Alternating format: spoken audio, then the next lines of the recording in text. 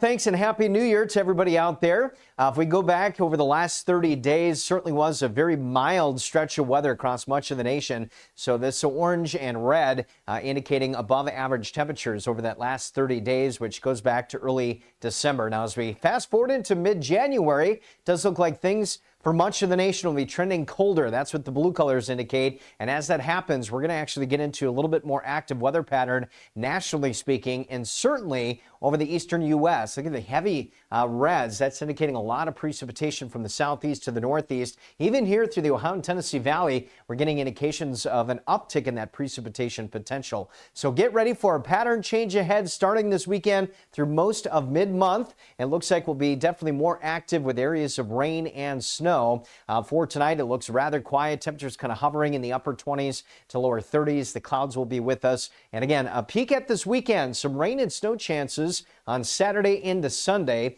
Temperatures will be uh, in the lower 40s, overnight lows down around that freezing mark. And our first storm system, again, is located here in the Four Corners region. Some thunderstorms over Texas. And again, the precipitation looks very heavy over the lower Mississippi Valley. But as that starts to turn north and east, it will bring us that rain and snow chances early as Friday night and into Saturday. But through 7 p.m. Friday, we are looking mostly dry. Until then, again, watching the clouds kind of uh, in and out of the region here, but overall quiet as we round out the week Thursday to Friday. So temperatures tomorrow morning will be into the mid 20s. Uh, northerly winds tomorrow, 10 to 15 miles per hour. And again, we'll be in and out of the clouds, but a very quiet Thursday ahead. Uh, those temperatures will be topping out near that 40 degree mark. I think we'll fall just short of that. Friday is still a quiet day, mid 40s for those daytime highs. First storm system with rain and snow this weekend, but a larger storm uh, impacts us around midweek next week with more rain and snow.